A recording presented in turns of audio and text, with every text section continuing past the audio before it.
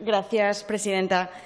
Buenos días, señor Lambán. Después de escucharle, yo me pregunto cuánto le cunde hora y media con uno de los suyos y llevan ustedes un mes para responder a cinco propuestas de mi grupo parlamentario y no hay manera. Pero hoy es llegar a Madrid y los temas fundamentales se los ventilan en hora y media.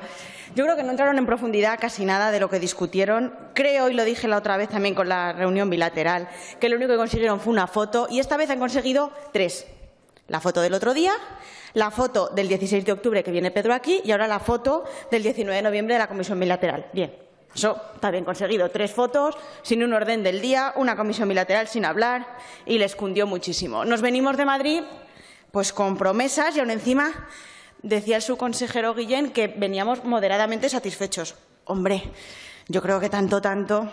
Financiación de la dependencia, 50% de la financiación que tiene que pagar el Estado para Aragón. Y dice usted, el presidente no me dijo de manera inmediata que vayan a aportar el 50%, pero se comprometió, sin plazo, ya si eso lo antes posible, que ya llegaríamos, vamos, nada, que aquí vamos a tener que seguir pagando la dependencia a coste de todos los aragoneses, con los impuestos de los aragoneses, y nos venimos tan contentos.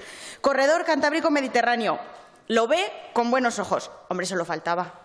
Solo faltaba que hubieran ido ustedes a Madrid y le hubiera dicho esto no lo vemos. Además, él lo ve con buenos ojos, también se lo había dicho el ministro Ábalos hace un mes. Entonces no sé para qué nos volvemos a reunir. Y dice aumentaremos las cuantías. ¿Qué cuantías? ¿Las ejecutadas? ¿Las que están sin ejecutar? ¿En base al presupuesto consolidado? Nada. Comedores escolares, me encanta. Oye, se va a Madrid a hablar con Pedro Sánchez de comedores escolares y no responde a Podemos si bajamos o no bajamos el precio del comedor. En Madrid, ¿qué le contó? Si aquí tenemos una propuesta encima de la mesa que vale cuatro pesetas y todavía no nos han contestado. Pero bueno, volvemos súper contentos. La actitud, dice, la actitud del presidente Sánchez, positiva. Ya, sí, bien, pero es que con eso nos quedamos. No hablamos absolutamente nada de la deuda histórica con Aragón. Algo de soslayo de la financiación autonómica, pero de esos 7.000 millones de euros que también ha planteado el portavoz del Partido Aragonés, nada. Nos conformamos con nada. ¿Qué pasa con el Canfrán? 15,8 millones millones que no consiguió precisamente su partido, sino que fueron por enmiendas de otro grupo parlamentario apoyado por otras fuerzas que ustedes no votaron, ni tan siquiera los diputados socialistas, y que además ahora no, ni tan siquiera presionan para que se ejecuten. Y ahí están, muertos de risa. ¿Qué pasa con el dinero que tiene que llegar a Aragón para el Pacto de Estado contra las violencias machistas? Que ya que hablaron de todo en hora y media, de esto podían haber hablado. Igual que podían haber hablado de modificar los criterios para que se pudieran mm, ceder competencias para el escoltaje para las mujeres en valoración de alto riesgo, pero de eso no. Eso lo hemos metido aquí nosotros tres o cuatro veces y de eso nos olvidamos. Hablaron de despoblación, pero ¿y de poner dinero y poner en marcha la ley de desarrollo rural, la ley de desarrollo sostenible del medio rural? Nada.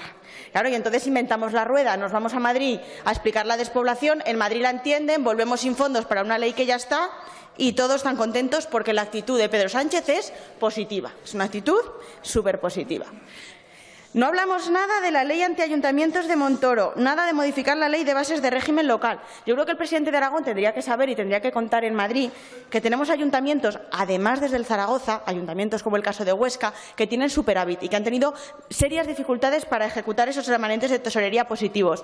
Y no ha sido precisamente usted, ha sido el acuerdo de Unidos Podemos con el Partido Socialista el que ha permitido que ese dinero se pueda invertir para escuelas de cero a tres años. Claro. Y ahora me dice usted que hablaron de escuelas de cero a tres años, pero si ya estaba pactado con nosotros entonces hablaron de algo que ya estaba acordado con nosotros. No pasa nada. Es que como en hora y media hablaron de todo, pues hay algunas cosas que ya estaban acordadas y se las podían haber ahorrado.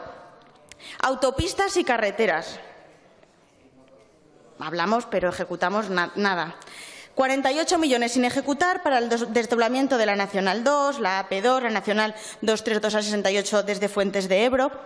Hablamos de autopistas y de carreteras, pero de estos 48 millones que están sin ejecutar, le exigió que se ejecutara, le preguntó por qué no se iban a ejecutar, venimos con un plan de ejecución, nos explican por qué se retrasa, nada.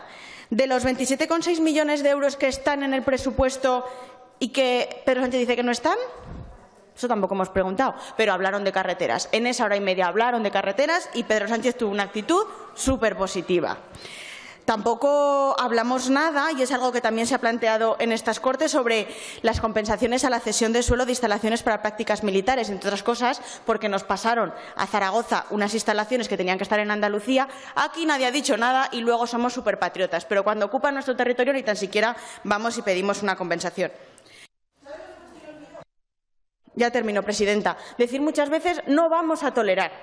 Y yo creo que si los aragoneses algo no pueden no volver a tolerar es que hay que defender la Constitución, sí, pero como presidente de Aragón usted tendría que defender el Estatuto de Autonomía. Y igual en vez de regalarle el diccionario Madoz le podía haber llevado un diccionario del estatuto de, un Estatuto de Autonomía con el artículo 108 subrayado y con un POSIT, porque ya que hablamos de las dificultades de financiación no estaría de más que le hubiera recordado que Aragón tiene la posibilidad de desarrollar un acuerdo de financiación propio bilateral del que usted está renunciando aquí al hablar de la multilateralidad. Muchas gracias.